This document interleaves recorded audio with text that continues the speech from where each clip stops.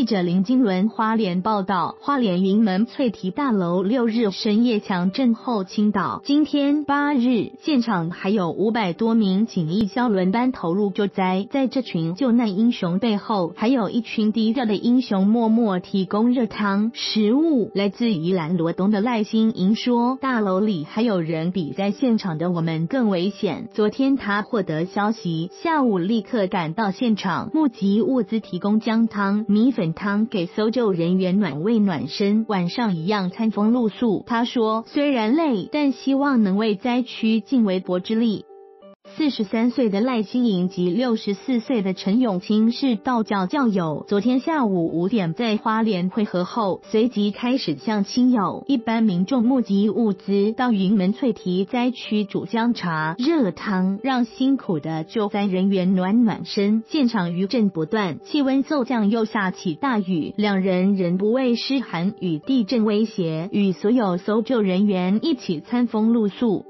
赖清莹说：“他不怕花莲余震很多，看到电视上的灾情，就立即搭火车来到花莲，因为大楼里还有人比在现场的我们更危险。到了花莲，他开始向这里的亲友及民众募集物资。昨晚已经煮掉二锅姜汤，今天又煮了一锅米粉汤，希望能全力协助搜救人员。虽然跟搜救人员一样餐风露宿，忍受寒风，趴在桌上就睡，但看到。”接过姜汤的温暖笑脸，一切辛苦都值得。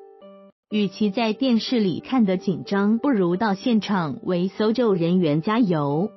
赖清莹说，他对台湾这块土地很有感情，天灾大家都不愿意，很希望所有人都能平安。看到云门翠堤大楼的惨况，只是觉得心酸，人生无常。